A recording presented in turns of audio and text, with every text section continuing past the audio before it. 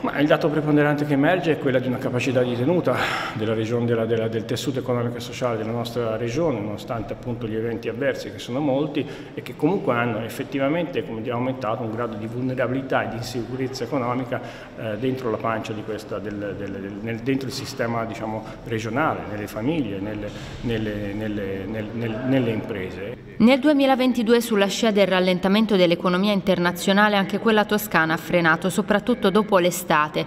Sono i dati che emergono dal rapporto IRPET dalla tenuta della Toscana alle opportunità da cogliere con il PNRR. C'è un andamento positivo che riguarda la produzione industriale, le esportazioni e il mercato del lavoro. La prima ha segnato un più 3,4% nei primi nove mesi rispetto allo stesso periodo dell'anno precedente.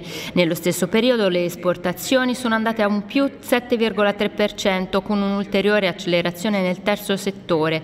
I livelli occupazionali hanno superato non solo quelli dell'anno prima ma anche quelli pre-pandemia con un più 4,6%. La manifattura ha ancora un grandissimo carattere. Chiaramente l'industria del turismo ha mostrato difficoltà ma anche una eh, reattività straordinaria nel 2022 che costituisce una, una, delle for, una delle, de, degli aspetti più forti della nostra economia, soprattutto a riferimento a quanto vale eh, l'economia turistica per il resto della, eh, nostra, del nostro Paese e quindi su questi due diciamo, eh, settori più rilevanti del, del, nostro sistema produttivo noi dobbiamo fondare un po' di riflessione perché sono anche i settori che internazionalizzano la Toscana.